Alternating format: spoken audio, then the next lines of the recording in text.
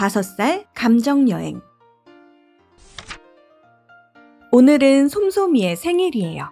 솜솜이는 방긋 웃으며 일어나요. 비가 그치면 빨간 장화를 신고 마당에 고인 흙탕물에서 마음껏 첨벙거릴 거예요. 창문에 부딪는 빗방울을 보면서 친구 단단이랑 통글이랑 생일 파티를 하는 모습을 상상해요. 기대로 솜솜이의 마음이 환하게 빛나요. 모든 상상이 이루어질 것만 같아요. 솜솜이가 옷상자에서 파티복을 찾다가 초인종 소리를 듣고 고개를 들어요. 심장이 세 번이나 폴짝 제주 넘기를 해요. 문 쪽으로 쏜살같이 달려가요. 분명 단단이와 통글이겠죠. 축하해주러 온 걸까요? 한껏 기대에 부풀어 문을 활짝 열었어요. 그런데 이웃집 아주머니네요. 빌려간 망치를 돌려주러 오셨대요. 솜솜이는 쪼그라진 마음으로 우두커니 문만 쳐다봐요.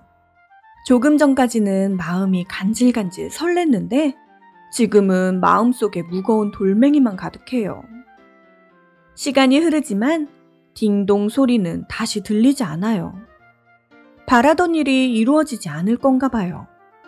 실망한 솜솜이는 어딘가에 꼭꼭 숨고 싶어요. 단단이가 걸을 때마다 커다란 소리가 울려 퍼져요. 단단이는 숲에서 통그리와 만나기로 했어요. 솜솜이의 깜짝 생일 파티를 함께 준비하기로 했거든요. 이런 단단이가 나무 뿌리에 걸려 넘어졌어요. 주머니에 넣어뒀던 감정 조각들이 사방으로 흩어져요. 단단이는 부끄러워요. 숲속 모두가 큰 소리로 자기를 비웃는 것만 같아요. 단단이의 얼굴과 감정 조각들이 빨개졌어요. 감정 조각은 기분에 따라 색깔이 변하는 신기한 물건이거든요. 통그리가 나타났어요. 단단이의 얼굴은 점점 더 빨개져요. 감정 조각들도 점점 더 빨개져요. 통그리가 감정 조각들을 주우며 다가와요. 넌 정말 운이 좋구나. 나였으면 대굴대굴 계속 굴러 넘어졌을 텐데. 통그리가 단단이에게 용기를 주네요. 그러면서 넘어지는 흉내를 내요. 넘어질 때마다 통통통 다시 튀어올라요. 마침내 단단이가 통그리와 함께 웃어요. 단단이의 마음을 가득 채우고 있던 뾰족하고 불편한 감정들이 슉 하고 사라졌어요.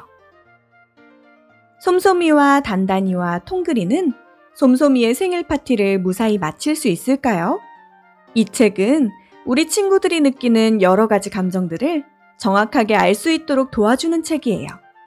그럼 여러분들도 솜솜이와 친구들을 만나보는 게 어떨까요?